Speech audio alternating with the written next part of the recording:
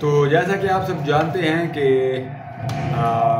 ہم جو ہے اس وقت فوجیوں کے علاقے میں ہیں جی ٹی اے فائیو میں۔ اور کافی مزہ آ رہا ہے۔ نکالیے یہاں سے کیا کریں اور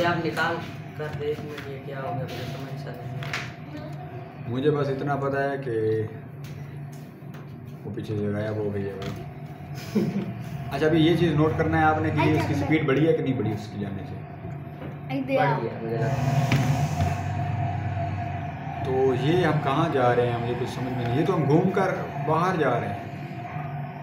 یہ کیا ہے؟ اسے جانے دو۔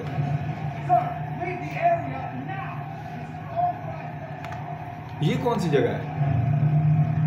یہ دوسرا راستہ ہے ادھر آنے کا پول ہم لائف میں اس پول سے آج تک نہیں گزرے اس بات کا آپ کو پتا گزرے ہیں پہلے بھی آئے تھے تو میں نہیں نہیں گزرے ہم۔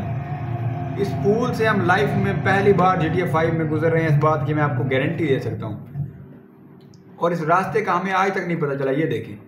یہ دیکھیں اس راستے سے ہم آ رہے ہیں۔ اور اس راستے کا ہمیں آج تک نہیں پتا تھا ہم نے کئی بار ہم یہاں سے آئے ہیں یہاں سے مڑ کر واپس چلے گئے ہیں۔ تو یہ راستہ نقشے میں بھی بنا ہوا تھا لیکن ہم دیکھتے نہیں تھے۔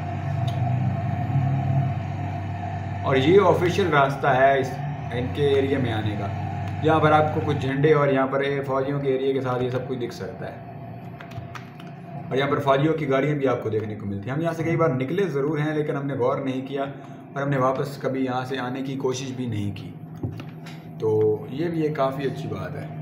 یہ تو تو فوجیوں کا ایسا کام بالکل نہیں کرنا چاہیے اور انہیں پنش ہم کریں گے کیونکہ ہم یہیں کی سرکار ہیں۔ اور دیکھتے ہیں کیا ہوتا ہے آگے۔ تو یہ سیلفیاں وغیرہ بھی لے رہے ہیں تو کافی اچھی بات ہے۔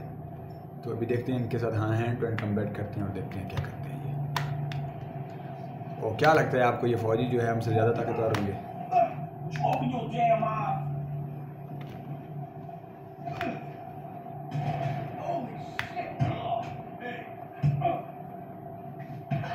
یہ کس بات کے کمانڈو ہیں؟ یہ ہم سے لڑ نہیں پا رہے ہیں اور